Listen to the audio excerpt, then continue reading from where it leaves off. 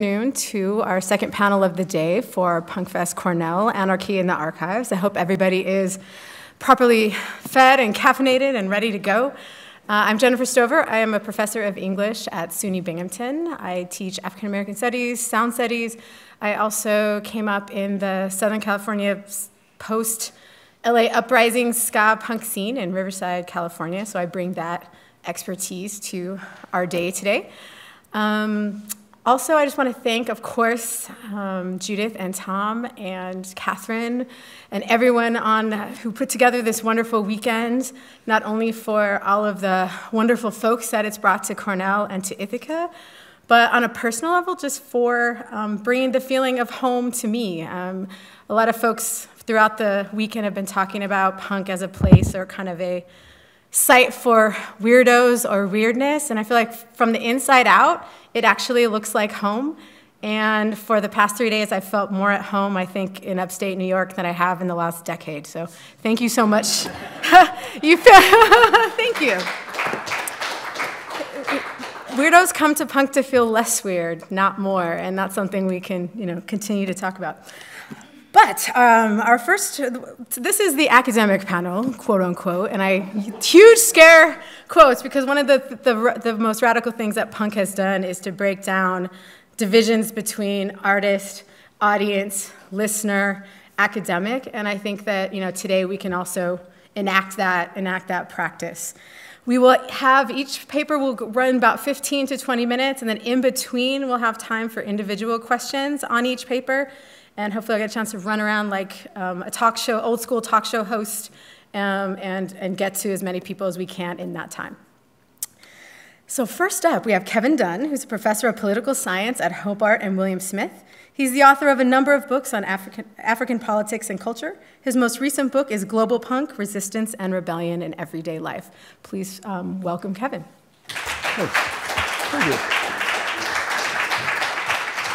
Thank you one second to set this up. I've got a little slideshow. Got to make sure it works. There we go. All right, there we go.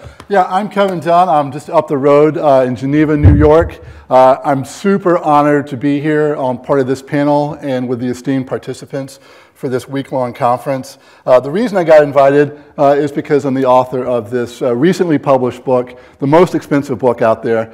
Um, I apologize. Global Punk, Resistance and Rebellion in Everyday Life. I have a PowerPoint that's going to run. Uh, most of the images up here are from the book. Some correspond to what I'm saying, some don't. Uh, it's mostly here to distract you from what I'm saying, as well as to keep me on time to know when I need to move forward.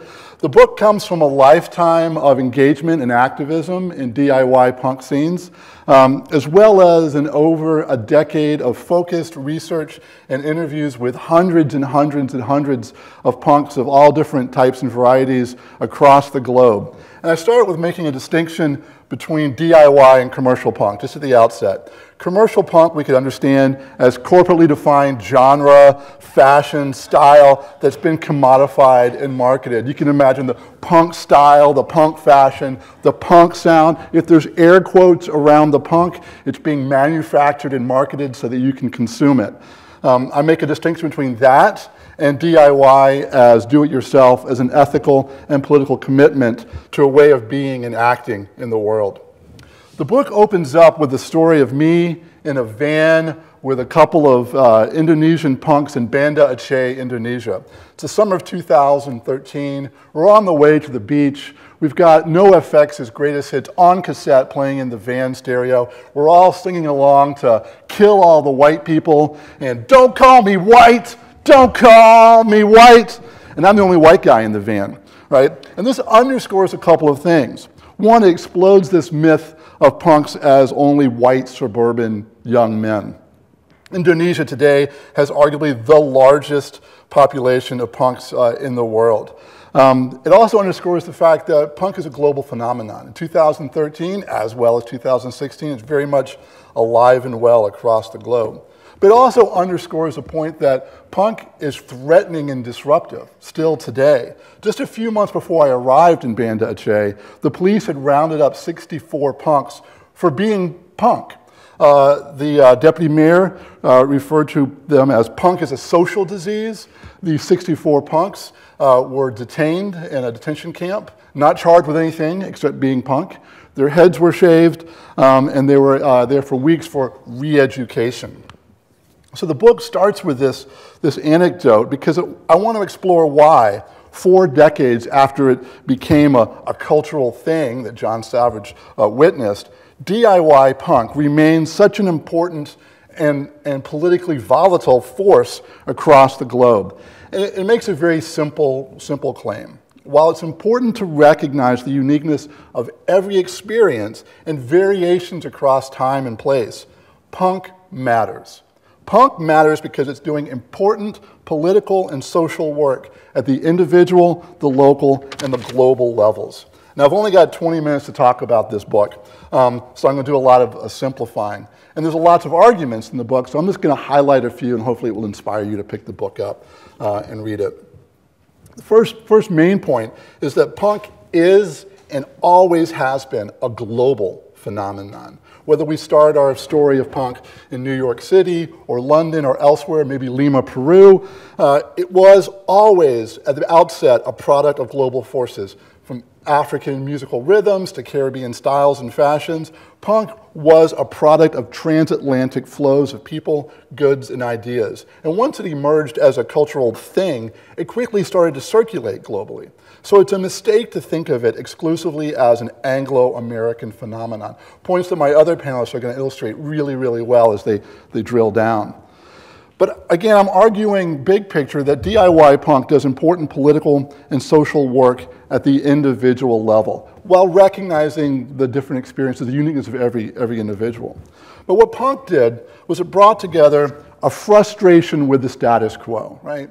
Shit's fucked up. The world's fucked up. It shouldn't be like this, right? That frustration, the way things are, with do it yourself, DIY, as a response, as a commitment, as a method, a practice to respond to that fuck upness. Right?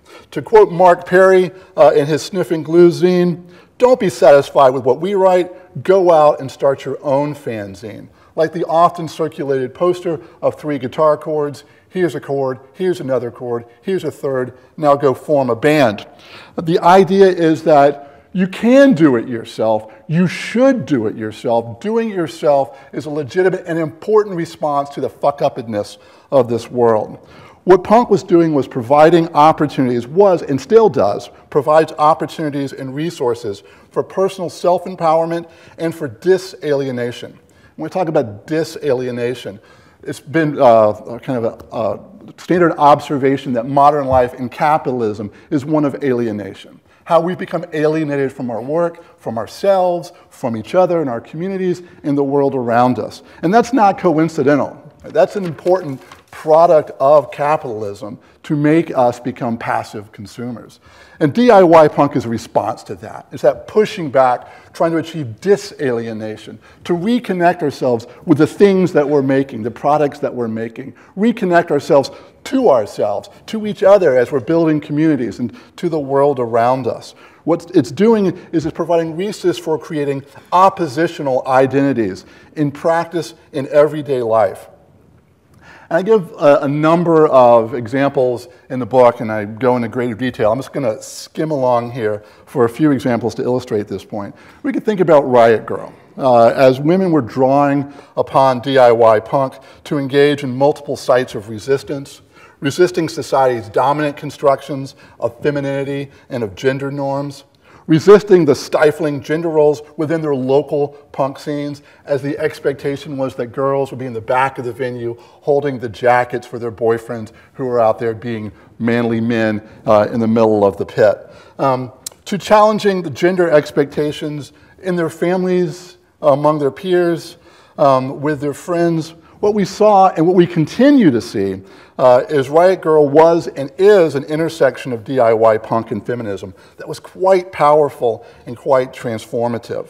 And I keep saying was and is because I reject the mainstream narrative uh, that Riot Grrrl somehow burned out in the mid 1990s. It's very much alive and well uh, across the globe and across North America. And we can see that in a number of examples. Well, it's girls' rock camps that uh, was talking about yesterday, in which I'm a proud participant of Girls Rock Rochester for several years now, or whether we're thinking about Riot Grrrl, say, in Russia today uh, with Pussy Riot, who was here, uh, members were here uh, a couple days ago, or in Indonesia, when I'm hanging out with young Indonesian women who identify themselves quite explicitly as young Muslim Indonesian riot girls, right? Riot girls for the 21st century. We can also see examples of this in terms of thinking about John Savage, because he made reference to this. Homocore, uh, drawing from, from DIY punk to create an empowered, disalienated queer identities to straight edge punk, right, where people are challenging and redefining societal norms. There's plenty of other examples. and the previous panel on punk identities and communities, kind of unpacked that really, really well.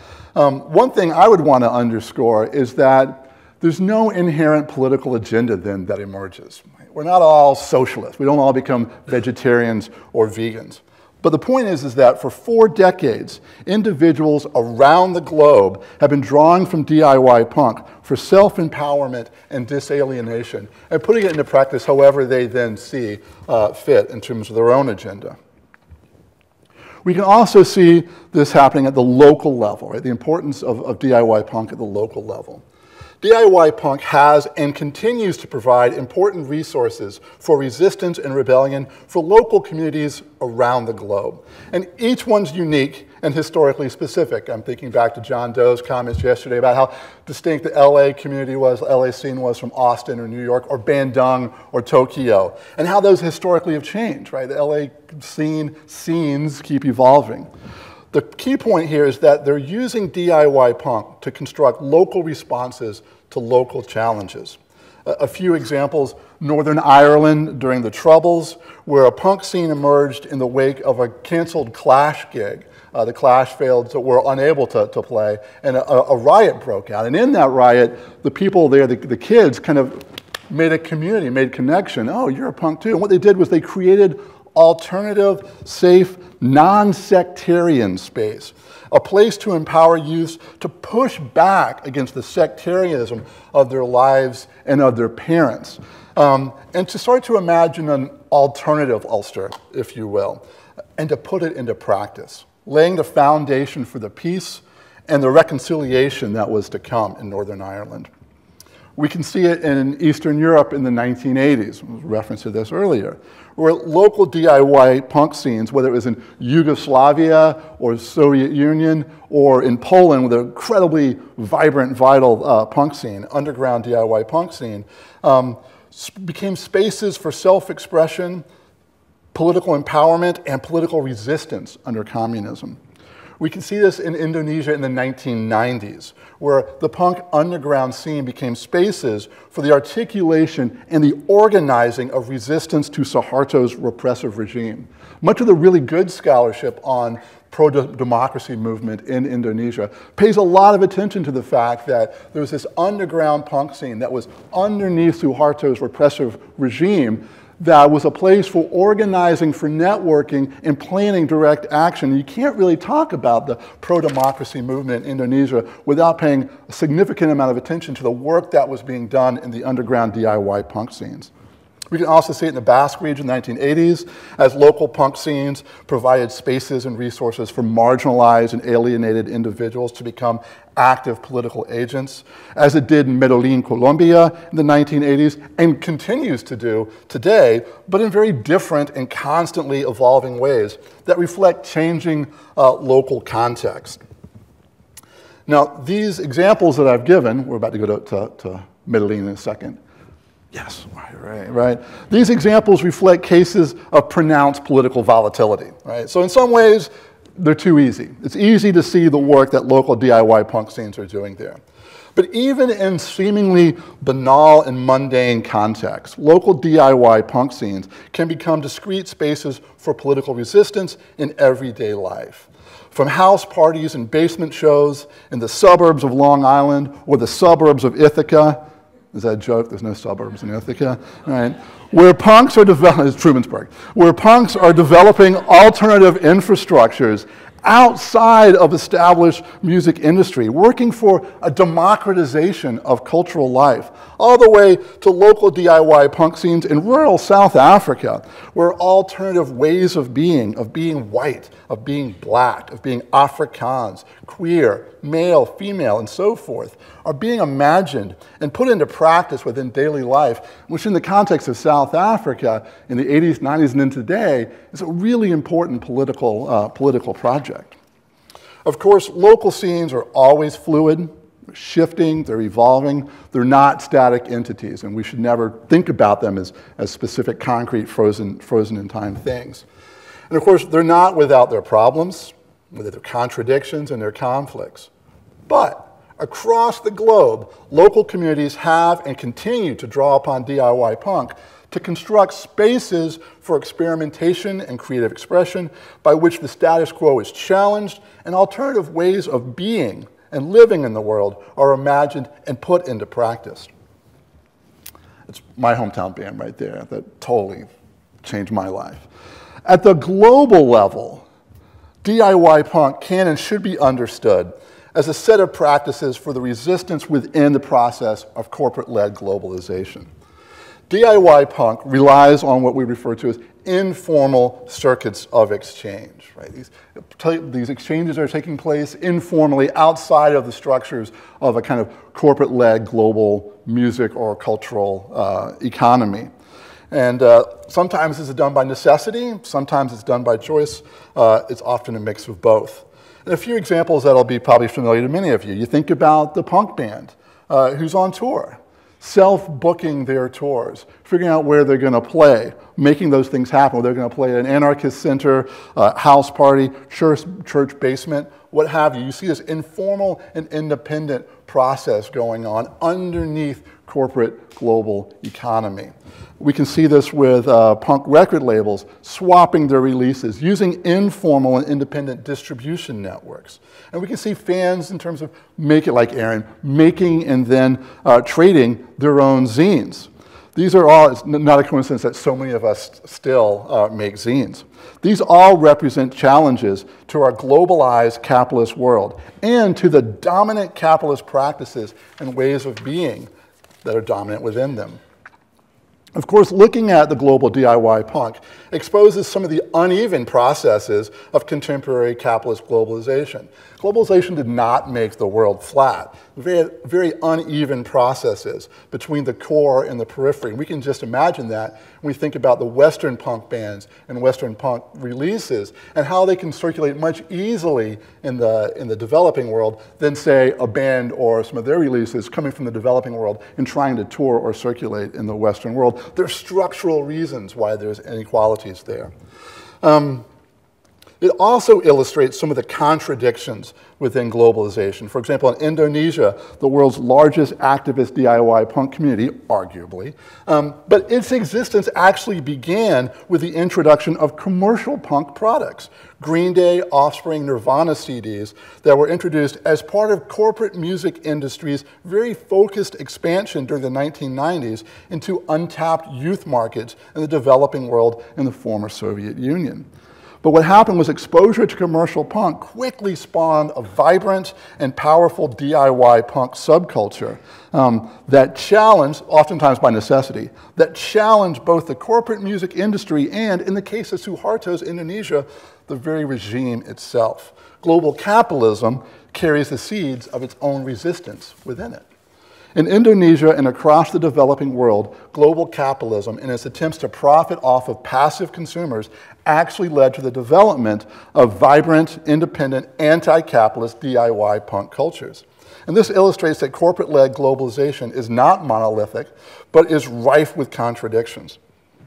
Also, I think it's important to point out that DIY punk, as a practice, offers ways to resist and restructure global capitalism. I've got a, a, chapter in the book on zines and self-publishing. A chapter in the book on DIY record labels. So just a, a couple of comments about DIY punk record labels.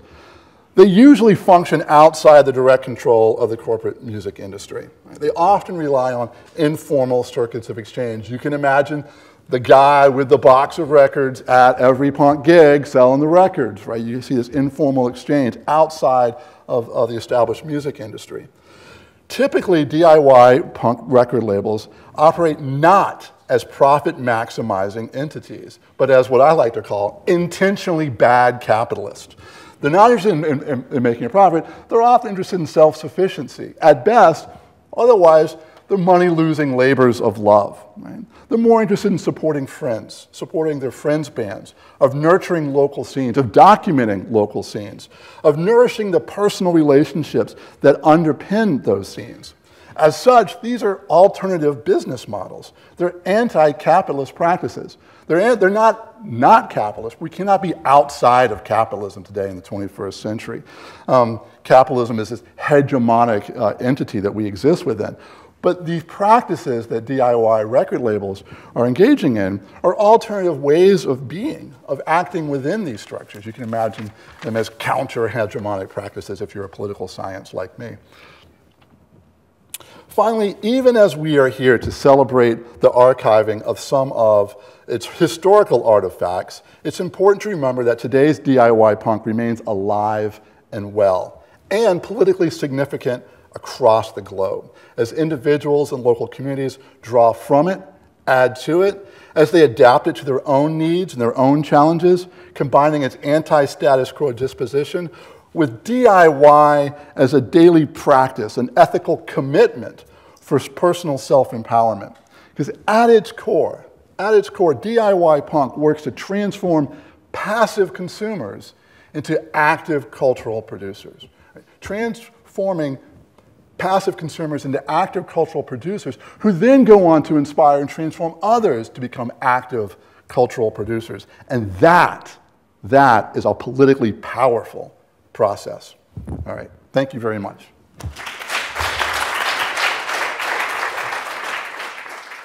Extremely well taken. So we got against the wall there. Um, so speaking about the uh, the sort of DIY ethic of producing it yourself, um, and specifically the sustainable capitalism as opposed to the uh, sort of counter capitalism as opposed to uh, anti like outside capitalism, like you were saying. Um, this kind of seems to intersect with a comment that was made by X yesterday um, that had to do with. Uh, I think there was almost a disparaging comment about um, how everybody wants everything to be for free now. Um, in other words, a lot of bands will offer their stuff on the internet. It's basically internet internet-based um, thing, and uh, so technology via the internet is sort of making the DIY thing drastically, like exponentially, more available. Um, so the question is sort of, how do you think uh, that intersects with this whole DIY thing? Because at this point, everybody can publish anything infinitely. Um, I see lots of I see lots of avenues I want to run down. So I'm going to stop and say, can you actually give me articulate exactly the question that I can, so I know which avenue to start running down, so you feel like I'm answering? Um, so sp specifically, uh, X had a problem, uh, it seems, with the fact that um, this sort of infinite productive capacity really runs counter to making any money. Yeah. Um, okay. And so, yeah, there's there's a problem at that intersection of like, yeah, look, we can propagate infinitely now. We don't have to worry about having some stupid record company to interact with, but maybe this creates problems for us. Uh, and also, do you even think? So this is two questions, uh, really. The second question that I think is really important is, do you even think that um, that the techno technological aspect is a problem at all? Does it have problems in terms of the punk ethic? Um, so gonna, the second one is uh, yes and no. There's nothing inherently problematic with technology. It then gets how, how it gets utilized. And I think one of the things that we're trying to figure out, we as society, but especially uh, those elements within society, I identify myself as one as an activist trying to push against uh, kind of the dominant neoliberalism, is how do we use these technological tools to our own advantage and resist them in terms of how they're being used against us, right? The answer to the first question, though, is, is a huge question, right? Because we've seen the way in which society consumes and distributes art and cultural products changing quite dramatically in the last few decades. So that someone like and Cervenka, how do they survive as, as artists? You know, my, my short answer is I'm going to punt that over to Ian MacKaye uh, and, and say, you know, because I, I mean, I run a record label and I lose money all the freaking time. But then I have a day job that covers my, my, my losses. I run a band, I run a zine. I put the zine out, Geneva 13, up the street, right?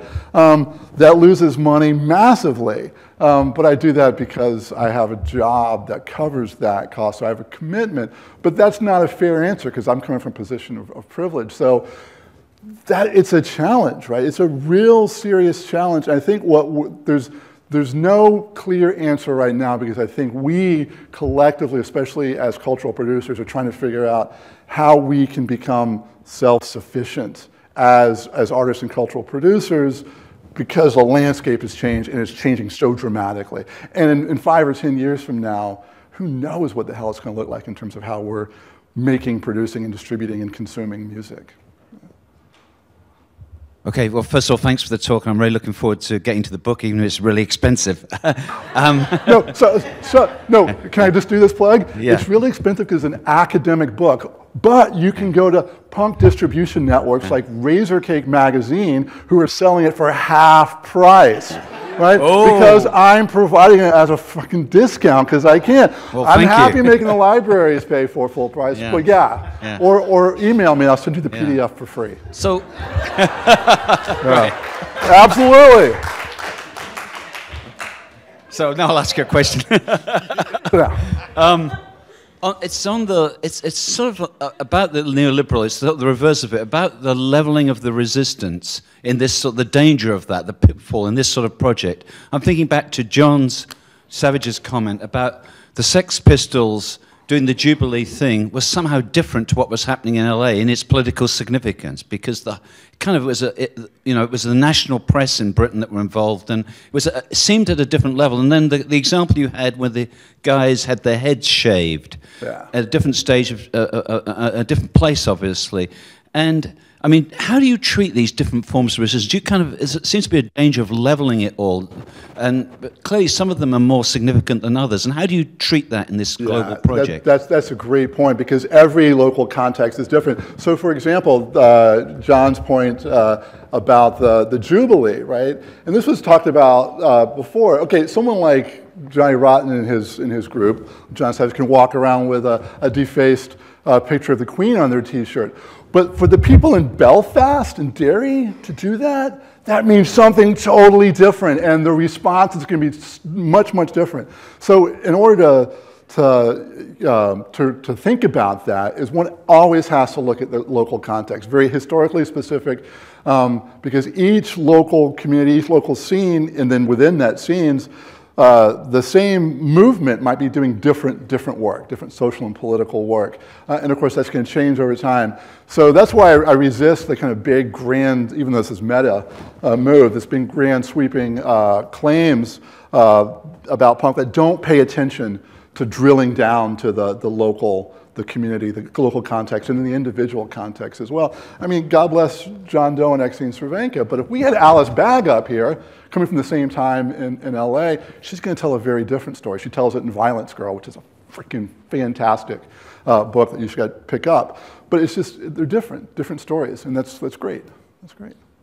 All right, I'm out of time.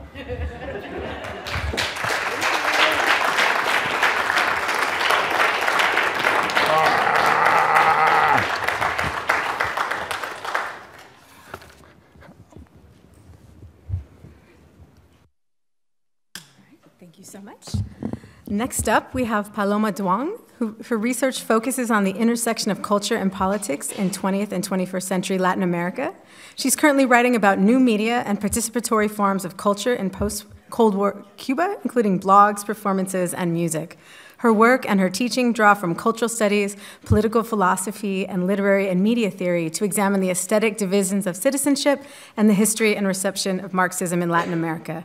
She's a professor at MIT and is currently working on two books, Culture and Media in Post-Socialist Cuba, and a second project tentatively titled Amateur Theories.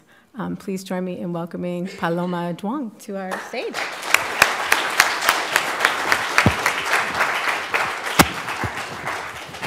Thank you, Jennifer. Thank you all for being here.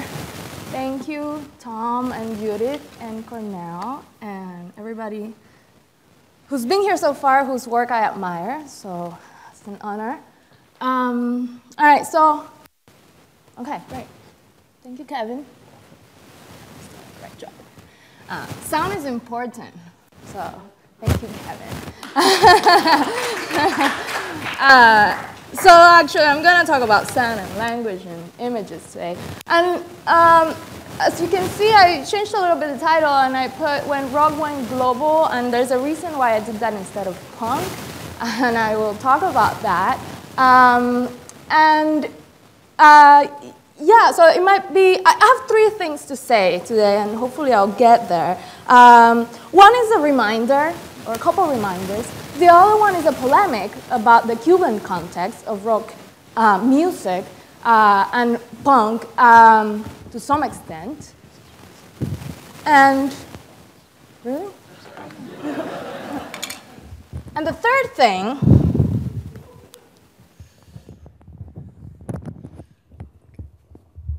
All right. Better? And then, yeah,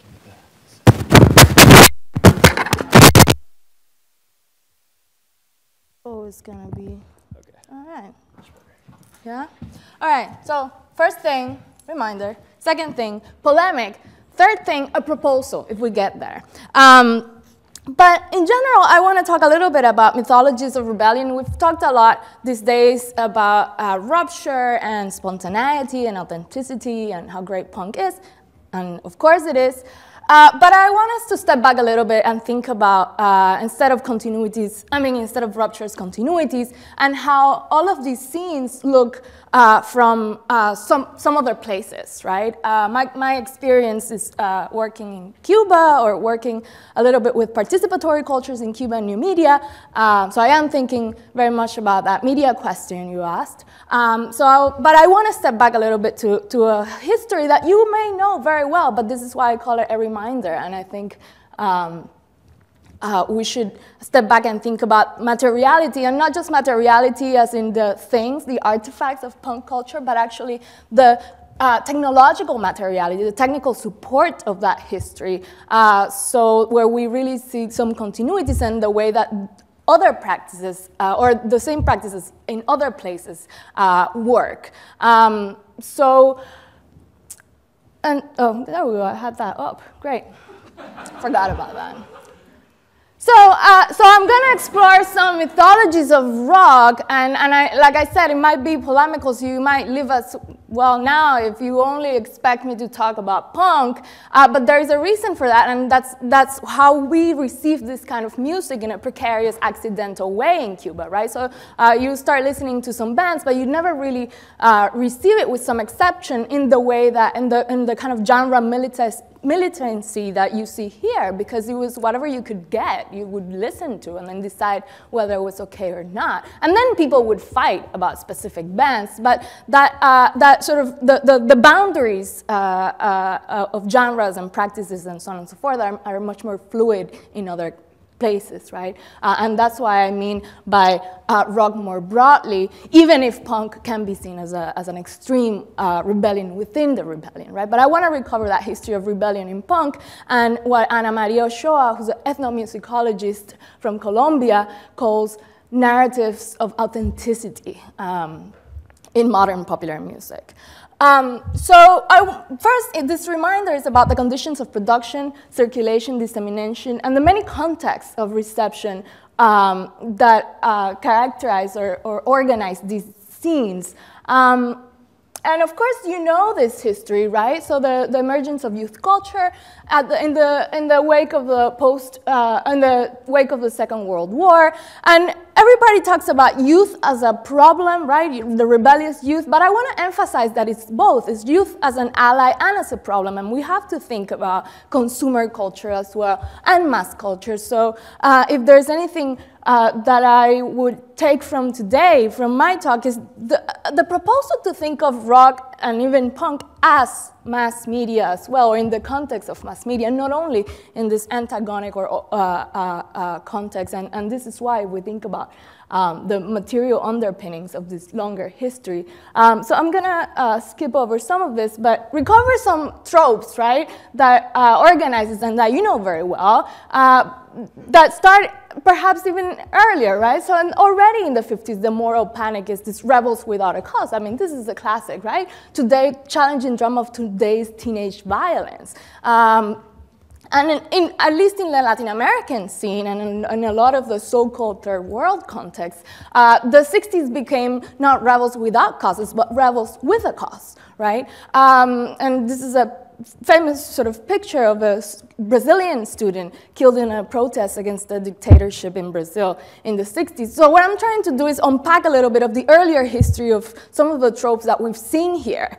Um, that we've talked about so far, but we haven't uh, sort of um, gone into in depth. So, um, and, and when we talk about youth culture in general and rock rebellion, and not just punk rebellion, I think that there is a continuity here. And I haven't found a better quote uh, than Thompson's uh, uh, this Thompson passage in Hell's Angels, nothing to do with, uh, or apparently nothing to do with a lot of the things we've been talking about, but uh, so what he says, and you're reading it right now, there's not much mental distance between the feeling of having been screwed and the ethic of total retaliation, or at least the kind of random revenge that comes with outraging the public decency. And there's, we've been talking about precisely outraging the public decency all this for the past three days. So that's uh, something I wanted to do today, sort of recover a little bit of that, a reminder of, of a longer history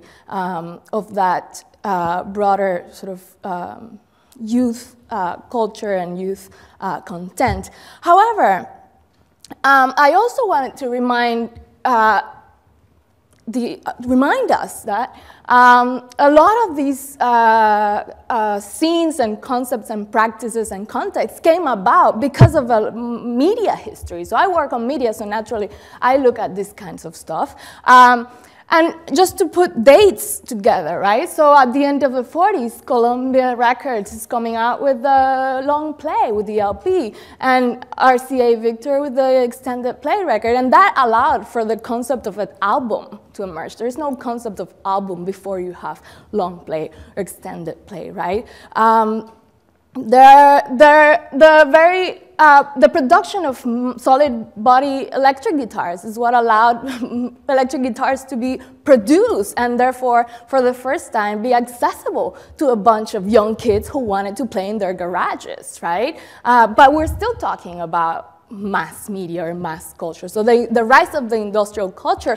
produces its own sort of rebellion, right? But it still uh, supports, or there's a sort of longer history of technological or media support that we, I think, have to take seriously in order to then see how uh, it's received and interpreted in other contexts, right? So that there will be a point to this history that I'm sure many of you know very well, but this is what the reminder point of this all, right? Uh, the technology of microphones changed, right? Um, in the 60s. So allowed for the singer to sing, and the wireless microphones became uh, prevalent and perfected in the 60s, right? Uh, so all of this influenced the very performance of stage. The fact that I can go and jump, I'm not gonna do that because apparently the mic is not very good, right? But the very energy of the performance and the unity of sound, body, and image uh, was underwritten by uh, a lot of these technologies as well. Um, we forget often that we were talking about DIY all the time and handmade and stuff,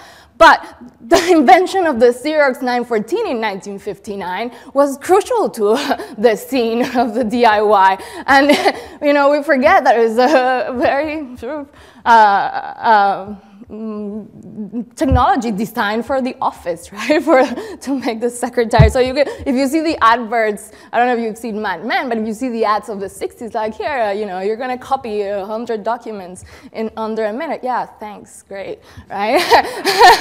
but then it, get, it gets used in, in other ways. But again, we I think there's a longer history here that we often forget, even when we talk about materiality, uh, we forget about these technologies. And the other technology before or that would mark the 60s and beyond is the birth control pill, which was proof uh, in 1960 by the FDA for the first time to be used as contraceptive, uh, which incidentally, well, the trials were in Puerto Rico, Mexico, and Haiti because there were many problems with doing large-scale trials in the US.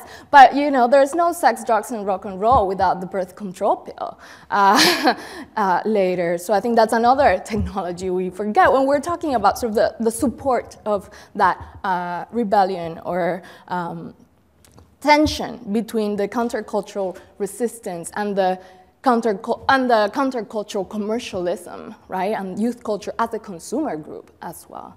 Um, so now I'll jump. So I, I, wanted to recover that story because I want to talk about how different are the contexts of reception that Kevin uh, talked about, um, and I question mark uh, global punk, not because I disagree with Kevin not at all, quite the opposite, but I do uh, want to emphasize self-identification and even the language, right? So when we talk about a lot of the local scenes, they're not even talking about themselves in the terms of uh, punk in terms of punk terms, right? So, for instance, rock music, the listeners to, in, to rock, of rock music in Cuba were, not, were called frikis.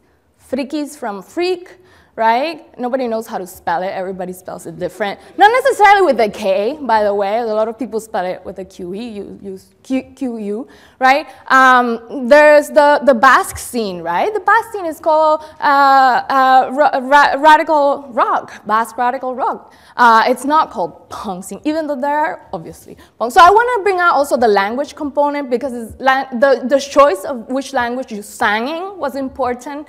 The choice of which bands you listen to and in which language you listen to them was important. So I wanted to bring out that texture uh, when we talk about different contexts of reception in Cuba and in broader Latin American context. Um, and of course, the same fears, the moral panic of youth was already present uh, much earlier. This is a Mexican film. I recommend that it's on YouTube if you speak Spanish, called Five of Chocolate and One of Strawberry. The plot is Esperanza is a convent student. Of course, she, they go to pick up mushrooms. By mistake, she eats some hallucinogenic mushrooms. Uh, organizes a group of male deviants who engage both indistinctively in politically subversive and criminal actions, right? So you already have that trope imported as well, but um, not necessarily foreign to a very conservative uh, uh, middle class, rising middle class in Latin America. Um, but I want to stress, and I bring a long quote from Eric Zolov's uh, book on uh, Mexican counterculture in the 60s, because I, I, think he said something really important that we forget when we talk about the reception of uh, um, American and, and British music in Latin America. Um, so he talks about two forms of commodification or, feti the, uh, or fetish, right? One, he says, well, hence the massification of a rock concept, and this is where we go back to rock as mass culture, even when it rises against it, right? Uh, the massification of a rock concept embodied in the images, discussions, and available sounds linked to the rock phenomenon occurring abroad contradicted the limited accessibility of, of rock as a commodity within the reach of the middle classes in Latin America. Um, so that's the first uh, uh, point, right? So rock, and, and, he goes on, rock music's consumption was thus doubly fetishized. Uh, first because, of course, it's a, it is a commodity. It's recorded in the studio, right? It's concealed. It's a mass cultural commodity. Uh, and then because of the inherent distance of Mexican rock consumers, in this case, but I think you can speak more generally, Shane, We'll talk about the Peruvian case. I don't know how much uh, that is true as well. But the distance between the Mexican rock consumers from the original product create uh, a, a, he calls it a distorted exchange of the rock album still further. Uh, so that distance made it also more precarious, more accidental, uh, the encounter. It changed the meaning of the reception proper, and it was fetishized as well because it was out of, uh, uh, out of access. In Cuba, that was even more intensified because there was an embargo.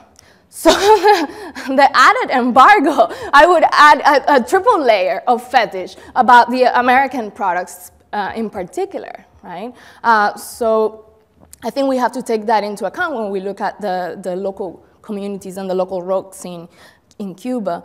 Um, nonetheless, and, and this is why the Cuban case uh, for me is uh, interesting is because it's so unexpected in a way, right? Uh, this is Roger Bartra, a Mexican uh, intellectual, talking about the 60s. Um, and he says, at that time, the association between the rebelliousness of the countercultural groups and the Cuban Revolution was not so surprisingly strange or strange as it might seem today. Marijuana was linked to Marxism.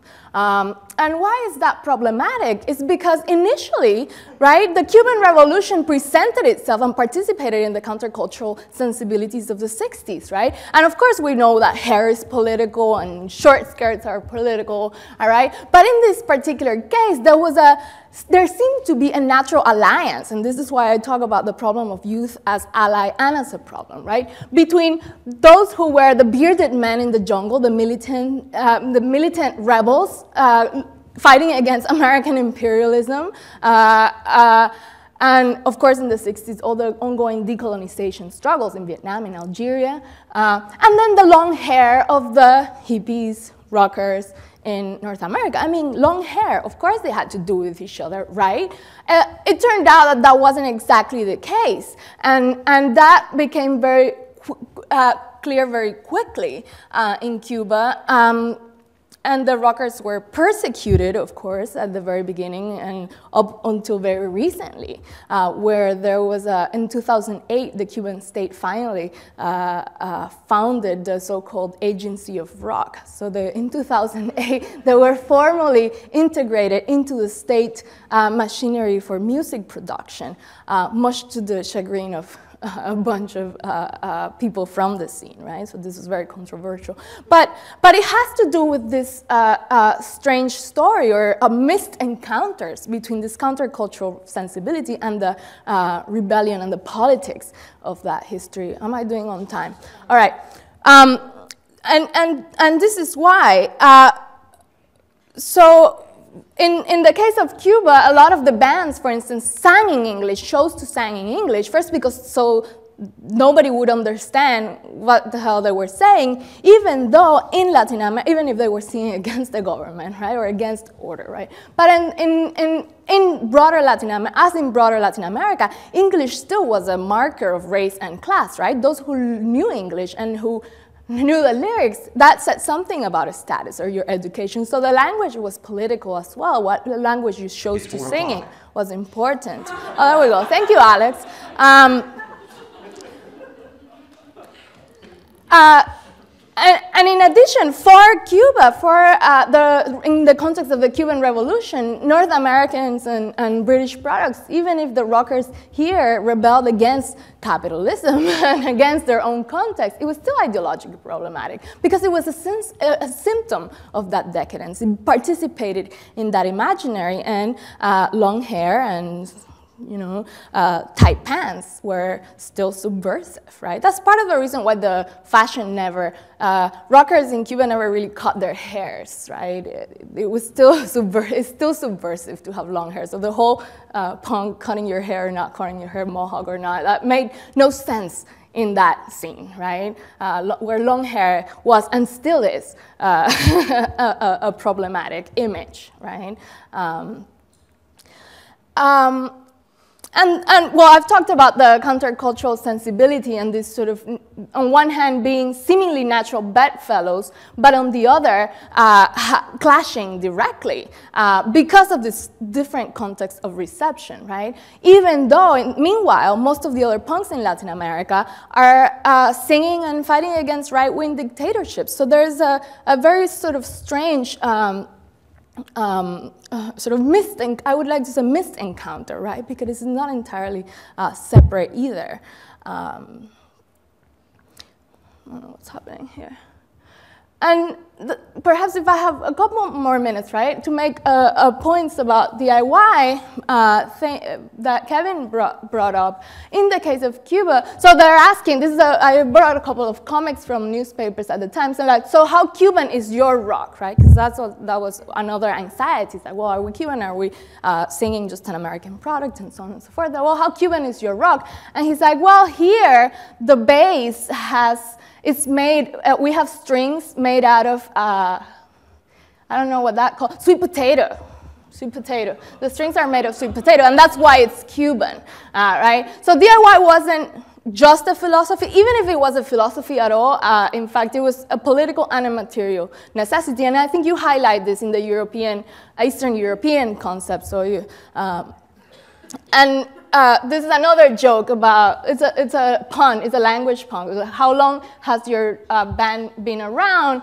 Uh, funda, and then it's like, yeah, we have, our drum has no bottom. So bottom and founding has, uh, is a pun in, in Spanish, right? Um, and the last point, and this is, connects also to the sort of what, what were we listening to besides that, we were listening to uh, Basque, uh, a lot of Basque radical rock, but, so here's an anecdote. Um, the first, so Negu Gorriak, which is the group um, the, of Fermin Muguruza after Kortatu, right, which Kevin showed, uh, goes to Cuba for the first, this is the first punk band to play in Cuba because their politics were seen as amenable to the state. So in 1991, they come, they give a concert with Mano Negra, but it turns out that as it's a well-known uh, urban I don't know, I don't want to call it legend because it is well known, that they lost their instruments. Uh, so basically, the, the Cuban punks uh, stole their instruments and a lot of them they donated and the strings and the pedals and a bunch of things. So actually a lot of the actual material things that they brought, they were left to further the punk scene or the rock scene in Cuba later. So um, anyway, just uh, a couple, uh, yeah, so let's, let's leave it there and then if we have time for questions, I'll be happy to answer more specific things about the Cuban scene of punk and rock. Excellent. I hope we do. Yes. Thank you.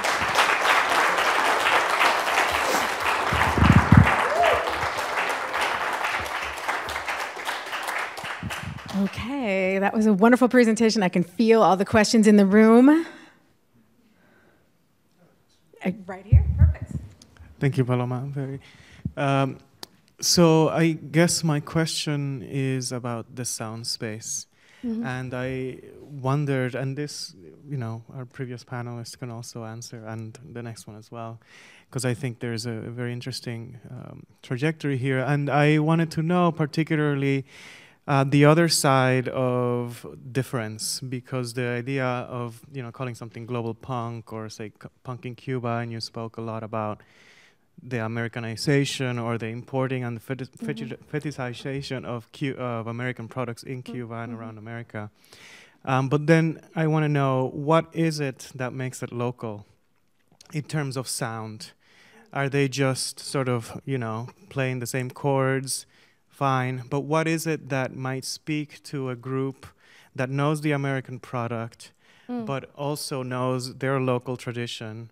And is there a mixture of those? And how does it become manifest or not? Or is it a purely American import mm-hmm, that sort mm-hmm. of gets then produced to be an American mm-hmm. reflection? Mm-hmm, mm-hmm. Um, so Thank you, thank you. No, that's a great point. Uh, what I'm, it, it, was fetishized, but it was also very consciously, as you can see in the comic, thought about. So uh, what was local, um, they, they, at least in the, in the, they, they did some covers, but there were a lot of local bands. So even though the scene wasn't professionalized, or perhaps because it was never really professionalized until very late, it was still an uh, amateur, and I don't say this, this uh, uh, uh dis despectively, despectively. I say this in a good way. There were amateur musicians, and that reflected the kind of local. There was a, a very intense and, and uh, vibrant circulation between the public and the players and so on and so forth. Uh, the local thing, I mean, the, the, the sweet potato guitar might be a joke, but actually it was part of why it was local because there was all these inventions that I don't even know understand half of it is they would open up equipment and modify it and uh, it would sometimes sound good and sometimes sound really shitty and but that was part of the local soundscape um, as well. Um, so yeah, those are a couple of the things that are making. So the other thing is the language thing. In a lot of other places in Latin America, singing in Spanish was the political thing to do because you didn't want to sing in English. But in Cuba, it's the other way. You sang in English, and that was the subversive thing to do. So that's why it's not a, directly a reflection or a fetishization, fetishization uh, fetish, a fetish, fetishization. Uh, it was actually, it was its own politics in that context, even though that might not be seen like that elsewhere, right? There was, oh, they're singing in English. Actually, that was the subversive thing to do. Although it, then it became the other way around when they professionalized. They had to start singing in Spanish to be political. So anyway. So um, a lot of punk uh, narrative in terms of the lyric content or even some of the propaganda that the bands put out um, in the UK and in America, um, it often has a very socialist slant to it, especially when you're examining bands like Crass, things like that. Um, and then you've got a socialist state, ostensibly in Cuba, and we have a propagation of at least some sort of punk. And so I wanted to ask you about the like the lyrical content of these kinds of so-called subversive bands in a state that is actually actively producing at least some of these socialist ideals in their you know preferred form hopefully. Um, so yeah how do the rebels rebel against socialism when they also identify with rebels? Yeah yeah, no, thank you. That is like the, uh, it's a very long uh, question, but if I may say something uh, uh, uh, sort of brief. the problem, so, th so for, for, for the people in Cuba and from the rockers in Cuba, it wasn't about capitalism versus socialism per se. It was, you were singing against the state there might be people, so even in the scene, there might be different politics. So some people were more to the left, some people more to the right. But the uh, scene of confrontation wasn't between two ideologies necessarily, or at least in general. It was more about an uh, uh, immediate sort of reaction against the censorship of the state or the way the, conserv the, the, the conservative values of society.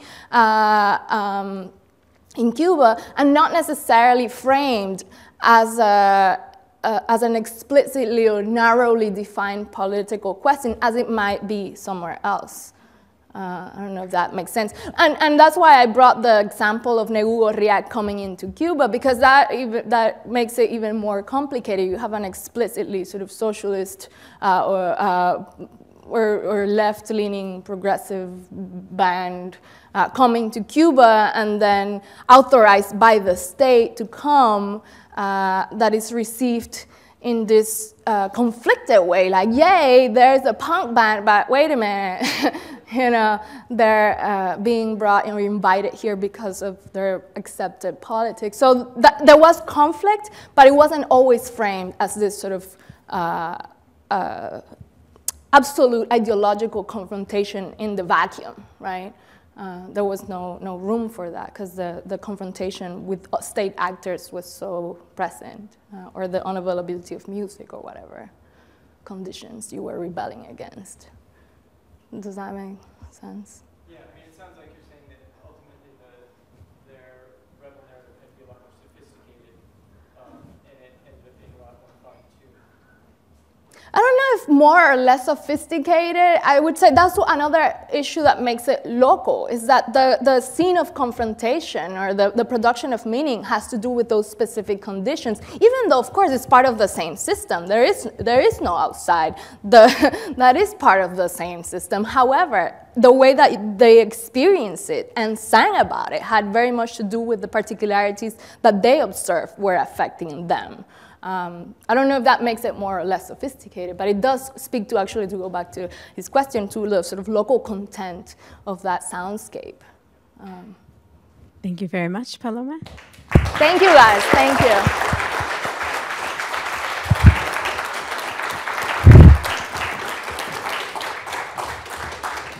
Thank you. And, and while we're seg- segueing really quickly, I want to, in the spirit of Comic Bus, to mention that I'm also the editor of a blog called Sounding Out, soundstudiesblog.com. Online, we are starting a punk sound series in league and solidarity this month with this Punk Fest Cornell on Monday. We're starting off with a post by Gretchen Jude um, on queercore, especially her listening to uh, Team Dresch's Personal Best in 1995. We'll also be featuring Tamara Spivey from Lucid Nation and Yetta Howard looking at the afterlife of punk sound in groups like Shoo, and an interview with the Chulita Vinyl Collective from Houston and San Antonio. So look for that every Monday in Punk Punkvember after this, this wonderful conference.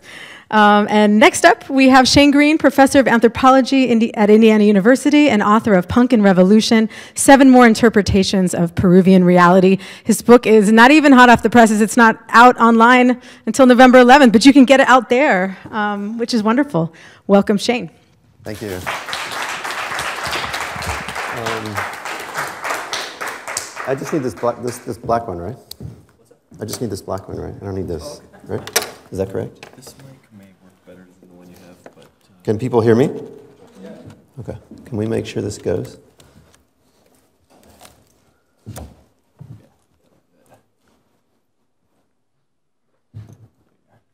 Okay. Uh, first of all, thanks very much. Uh, very happy to be here um, with people I know, new people I'm meeting. Thanks to all you guys for coming, to uh, Tom and Judith and the other, other organizers for bringing me in.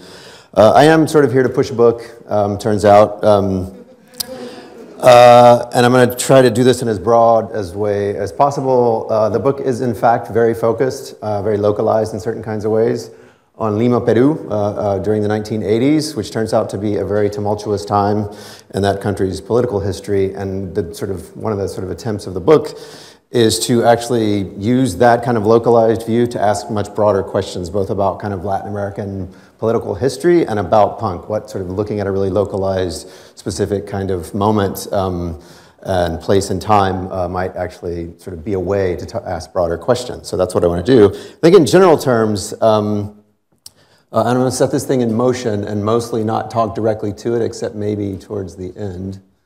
Um, hopefully it will move itself. Tell me if it's not moving.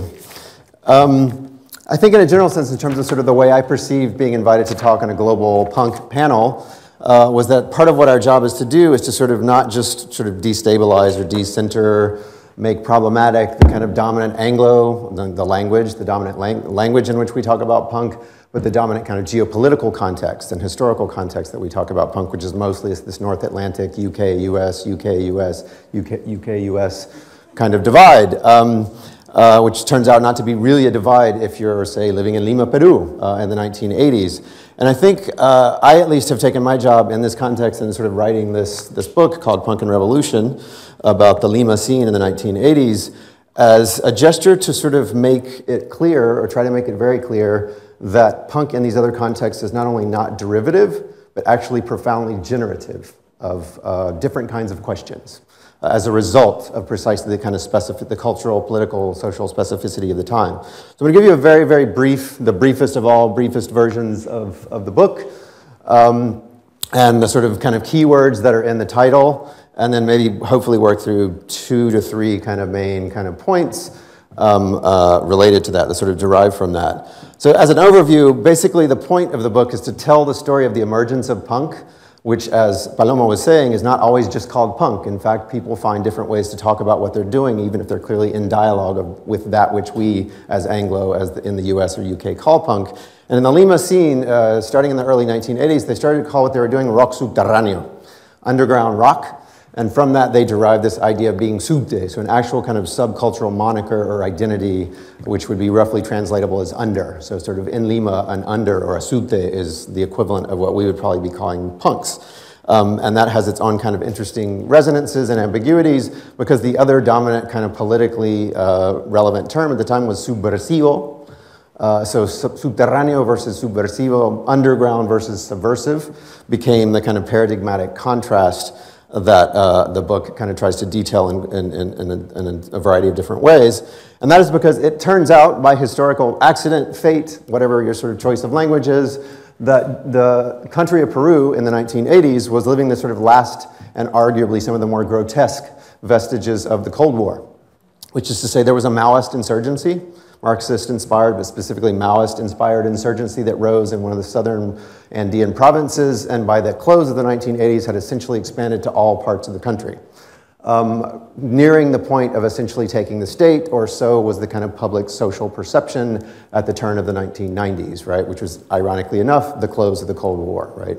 Um, so, sort of one of the last vestiges and one of the most violent uh, uh, parts of sort of Cold War Latin America in a variety of different ways. The bloodiest period in Peruvian history since independence from Spain.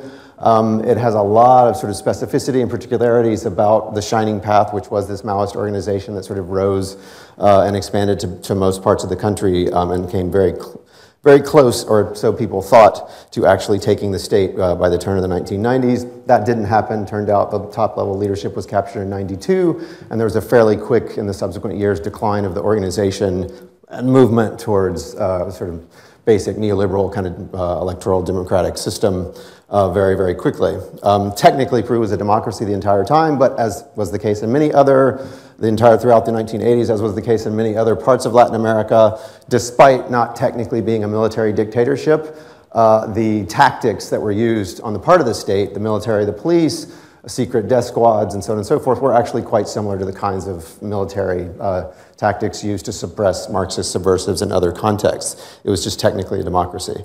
So the key words, as are apparent from uh, the title of the book, uh, are punk and revolution. And so I want to sort of emphasize the, the notion of revolution and talk a little bit more about that in a couple of different kinds of ways.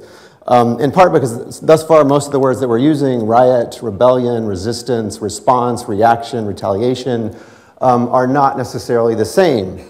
They might be sort of part of a broader vocabulary of resistance broadly construed, but in Cold War Latin America, and in the Cold War generally, probably extrapolating even further than that, revolution had a very specific kind of meaning, right? There are all kinds of different variants of it and varieties of it, but in that particular context, it meant essentially Marxist insurgent groups, right? Leftist insurgent groups that were willing to take up arms and challenge the state in a sort of first order of business, as was classically laid out by Marx himself, because taking the state was presumably the, the first and necessary step to building a sort of eventual hypothetical utopian kind of socialist world order, right? So taking the state was the primary objective, right? To the sort of building of a, and Cuba's, of course, uh, in, the, in the Americas at least, one of the most, um, or the Sandinistas a, for a brief period, um, or sort of classic cases of this, where they took the state and essentially stopped, right? Um, and tried to build a socialist state in that sense, right? So I'm sort of interested in the first instance of uh, rethinking through this book and through this sort of topic the way the narrative of Cold War Latin America is told. Um, by focusing on urban, mostly middle to upper class punks from Lima, uh, who are in fact not directly, at least not initially, inspired by Marxist ideas or Marxist ideology or praxis, but by anarchist praxis and, and politics and ethics and so on. And as it turns out, uh, whether they wanted to or not, many of them ended up in very complicated dialogues with the Maoists. Uh, uh, at, at, the time because of what was going on, because they were essentially living through um, not only a punk scene, right, an urban punk scene, but an urban punk scene that was sort of ensconced in or surrounded by a revolutionary proposal, the idea that the Peruvian state needed to be taken, it needed to be taken by force, and a socialist order was going to be sort of erected in its uh, in its stead, right? So I'm sort of interested in sort of rethinking the, not only specifically the Peruvian narrative caught in the crossfire, sort of caught between the repressive state response and the Marxist alternative revolutionary socialist proposal, um, but sort of by extrapolation, most of the way that Cold War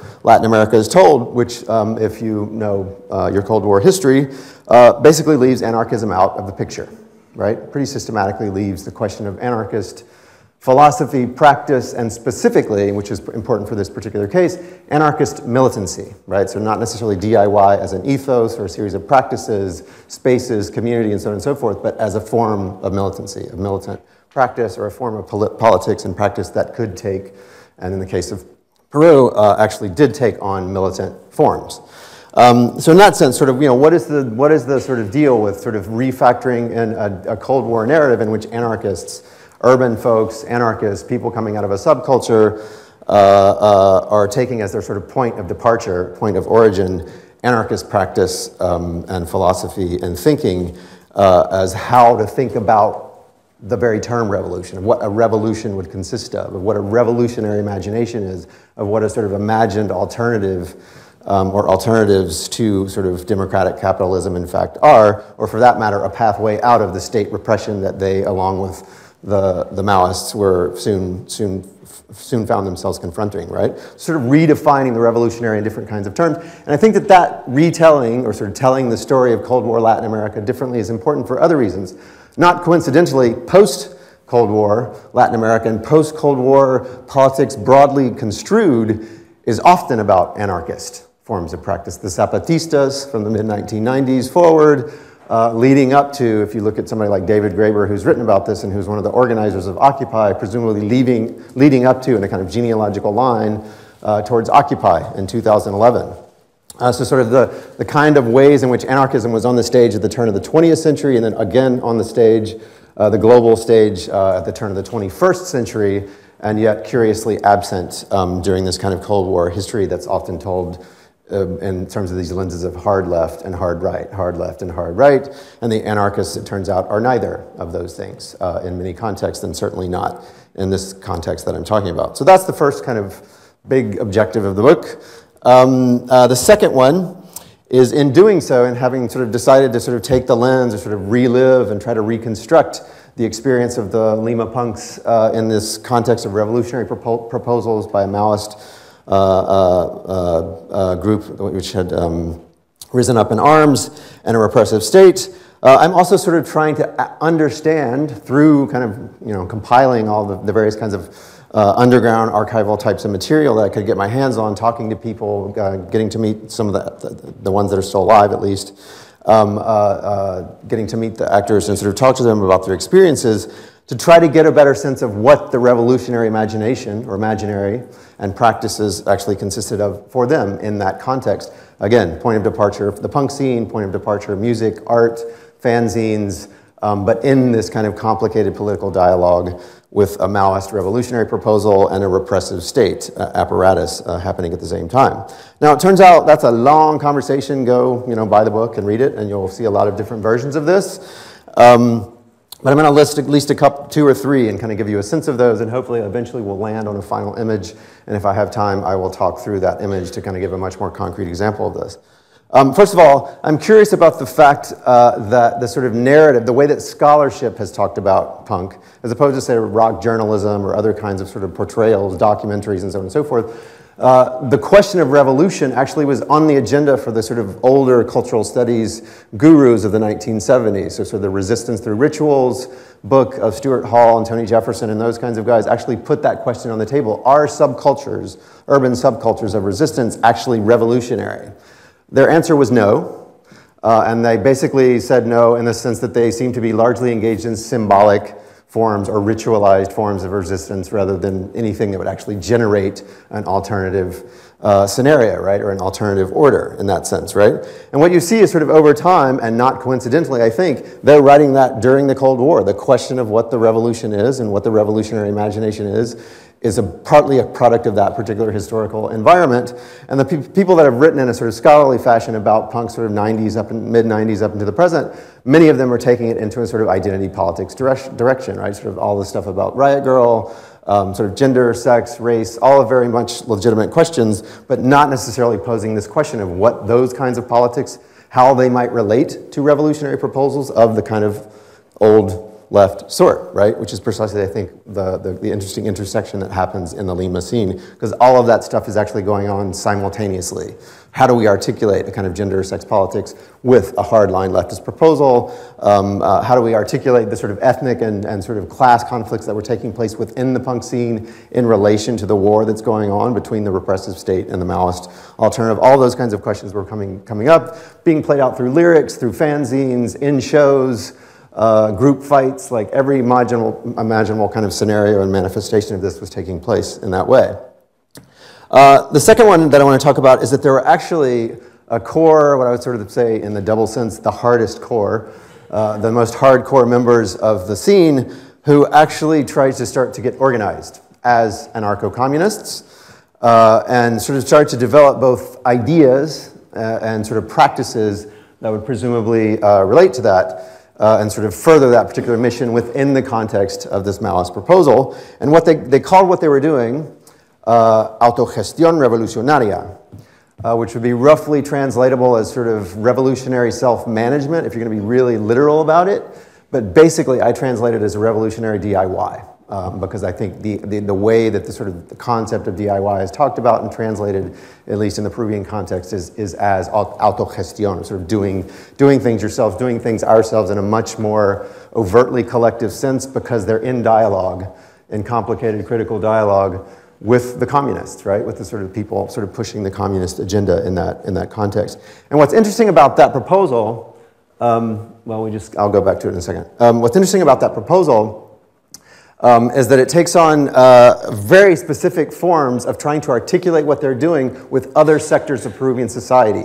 The vast, vast informal market sphere in, in urban Lima, where sort of ma mass migration from the Andes to, to, urban Lima has resulted in this kind of black market, informal piracy market of people trying to survive and, and, and, and involve themselves in street markets to, to, to find a way to get by. And they sort of articulate what they're doing as punks, producing fanzines, producing music, so on and so forth, with their own kind of resources at hand as essentially the same kind of activity as people like sort of picking up sort of recycled goods on the street and going and selling them elsewhere. Just there's an, there's an explicit kind of intellectual and political affiliation that they think they have uh, with people in other sectors of Peruvian society that, of course, are not punk at all, right? Are not sort of involved in this kind of urban subcultural element. And the last thing that I'll mention in terms of sort of being a little bit more specific about what I mean about the peculiarity, particularity of this and this sort of anarcho-communist uh, ethos that they constructed in series of practices is what I think of as radical aesthetic ambiguity.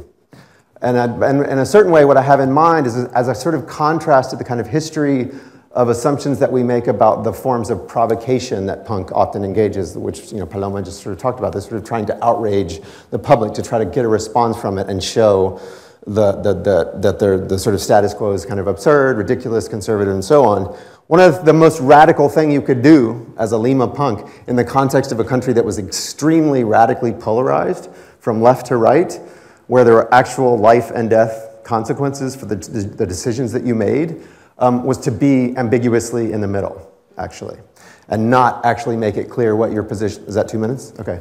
And not actually make it clear what your position was. So a good example of that, um, there's many examples, but a good example of that uh, is this uh, art collective called Taller NN, which would be Workshop of the Unidentified, yes, as in unidentified corpses, um, who redid the Warhol Mao from the 1970s.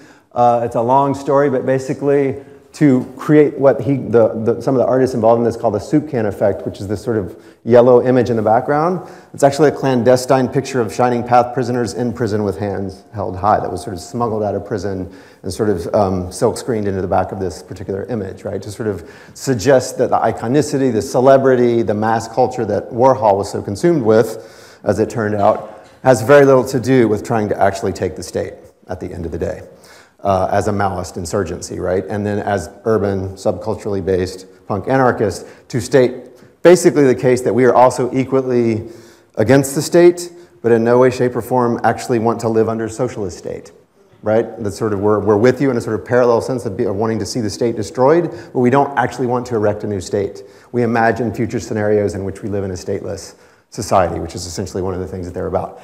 last thing, and I'll shut up. Um, I wanted to write this book as a series of seven different, hopefully as distinct as possible, interpretations or takes or lenses on this particular context. Um, and so I chose to do as radically different things as I possibly could, including writing one or two formal academic essays, one essay that is essentially a punk rant. I wrote it in a, just a matter of a few hours and didn't really edit it. Um, I did a collaborative art project, which is what you just saw sort of sliding through there, uh, which had 60 plus uh, participants from several different countries. I wanted to sort of try to basically displace the idea of the individual author as spectral or genius um, and collaborate and sort of include other people in the production of the book and to basically think about radically different aesthetics juxtaposing themselves in the, in the flow of the book itself. Um, so that gives you a sense of what that, at least one sense of what that's about. And I'll shut up.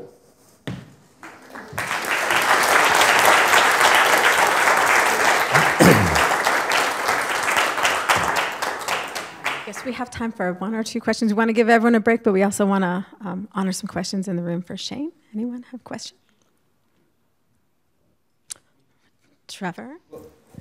Could you just expand a little bit on that, uh, the, the last point you made about how you're trying to disrupt the, the narrative and this radical way of presenting? Did you do that with music as well, sound? Uh, yeah, if you go to my website, you can see my band's uh, uh, video. We've, we've been covering some of the bands that I write about. Um, and so, I mean, we've been producing music. Um, we do original music too, but um, We've done some covers of various bands, uh, and we, in the spring we did a montage video that recuperates old historical footage. So it's also interested in blending like aesthetics with historical material, right? Um, um, with our version of one of the classic songs. There's a song about this, the 1986 prison massacre where the sort of state sends in the military to retake prisons where there's a bunch of coordinated uprisings by political prisoners, and this band called Voz Propia writes a really canonical kind of song about it. Um, so we sort of redid that um, and used old historical footage as the basis for the, for the video montage. So there is a, there's a musical dimension to it. Um, and then the book itself, there's a short story as the sort of seventh interpretation, like a fictional encounter between sort of two intellectuals, Bakhtin and Mariátegui, if anybody knows who those are, um, talking about Lima Punk. So there's a sort of even, you know, refusal to just be factual um, uh, in the book at the same time. So I'm just trying to do like really different takes um, partly to resist a kind of linear, simple narrative, basically, right? Or to even resist the idea that like my only job is to be a scholar and always be fucking serious. um, so. This will be our, our final question of the panel, but we encourage you to talk with our panelists, of course, during the coffee break. This has been a really totally fucking amazing presentation. My mind is blown. Like all of you guys are doing really great work. Um, that's not my question. Um, can we just go now? um, so I was curious, um, not knowing, I've been just dying for, to read about people talking about anarchism in uh, Latin American punk scene versus socialism, and I can't wait to read your book. Um, but can, is there anything about um, imagining future possibilities of sexual and gender relations within, like what's going on with anarcho-feminism within that? Yeah, yeah, um, is yeah. there anything, or are we prioritizing, um, you know, other sort of political ideals? Um, I'm just curious. Yeah, yeah. Uh, I'll try to give a short, brief answer because I got the sense that we need to move on. Um, the short answer is yes. There's a there's a chapter all about the tongue um, that you might want to check out the, if, you, if you check out the book. Um, the scene was overwhelmingly guys, like, I mean, in an almost absurd way compared to the already overwhelmingly guys kind of phenomenon in many other scenes. Like, literally, like, no, there were five women, basically. Like, I could name them. Um, uh, the particular, most visible kind of not only feminine, but feminist performer from that scene did not explicitly articulate what she was doing in sort of militant anarchist terms. In fact, she was all about parody and humor. And that's the sort of, that's the relationship with the tongue, sort of how you use the tongue sexually, comically, linguistically, sort of what you do with the tongue in all these different kinds of ways. That said, the, the, the folks I'm referencing here, um, you'll notice that I took all gender out of that present. I don't know if people noticed that, but in reducing people and places and things to X, I also took out all the gender for partly that reason. Um, one of these sort of more militant sectors of this that were writing and thinking and trying to put into practice some of these things Um, they didn't do a particularly good job of theorizing that, but they sort of tacked it on as like, you know, um, anar- an anarcho-communist movement has to also actually get past like basic baseline levels of machismo, of the sort of radical imbalance in the scene of sort of, you know, men versus women. Yes, all, yeah, but I mean, not in a very, you know, elaborate way, right? Um, not compared to the sort of really complex dialogue that they were constructing between um, militant anarchism and, and militant so- socialist practice. Um, but it was present. Um, so. Not a lot of angles. Yeah, it was just like a kind of an afterthought. I mean, in terms of what I've what I've seen from that particular sector, um, you had to sort of look elsewhere to. Um, it's a long story, but there are overlaps with this feminist per, per, uh, uh, performer that I talked about, uh, Maria Teta, Mary Tit would be how that would be translated. Um, uh, she had really interesting overlaps in her fanzine, not so much in her lyrics, but in her fanzine with militant feminists who were not necessarily punk or not necessarily directly involved, but she was having conversations with those people in the context of, for example, her fanzine. Um, so. Thank you. Please give it up for all of our panelists.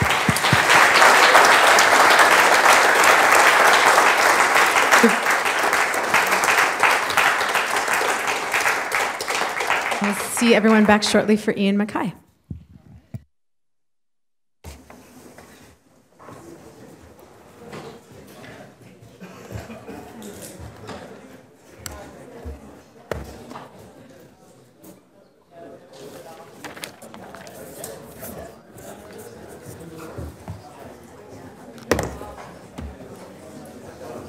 Hi. Coulter-Flighter. Oh, nice to I'm meet you. SUNY How's it going? Portland. Oh, cool. we do the Anarchist Studies Initiative. Uh-huh. Uh, Are you involved with the National Association of Anarchists? I am not.